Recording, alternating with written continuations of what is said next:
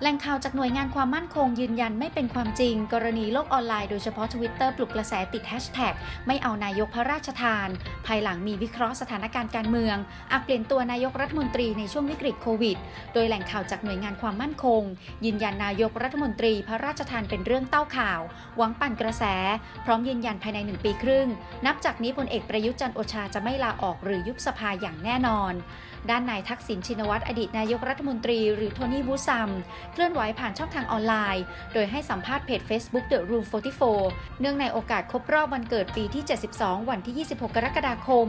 ซึ่งช่วงหนึ่งนายทักษิณเล่าประสบการณ์ติดเชื้อโควิด พร้อมเน้นย้ำในฐานะอดีตนายกรัฐมนตรี รู้สึกทุกข์เมื่อกลับมามองไปที่ประเทศไทย และยืนยันตอนนี้ไม่ได้รู้สึกเครียดแค้นทางการเมือง เพราะส่วนตัวเป็นคนใจกว้างคิดบวกสร้างสารรค์ให้อภัยตลอดเวลา แต่จำทุกเรื่อง หากถามว่าจำใครได้มากที่สุดตอนนี้จำได้เยอะสามปอเรียกว่าจำได้แม่น เพราะมีความเกี่ยวพันกันหมดค่ะ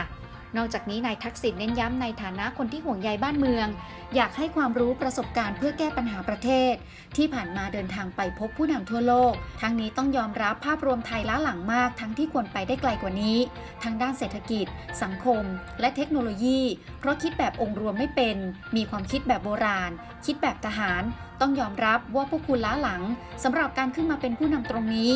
หากวันนี้เป็นนายกรัฐมนตรี จะใส่ชุด PPE ลงพื้นที่เยี่ยมคนป่วยโควิด เพื่อกระตุ้นให้เจ้าหน้าที่ เร่งขับเคลื่อนงานที่ไม่เป็นนายกรัฐมนตรี Work from home สังเกตได้จากที่ผ่านมาไม่เคยกลัว ยกตัวอย่างช่วงที่เกิดวิกฤตไข้หวัดนก เมื่อปี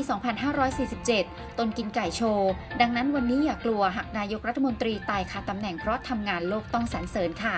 โดยในช่วงท้ายนายทักษิณกล่าวถึงประเด็นเดินทางกลับประเทศไทยว่า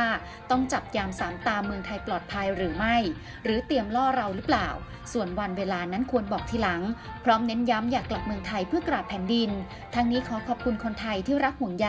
และสวดมนต์ทำบุญให้ค่ะ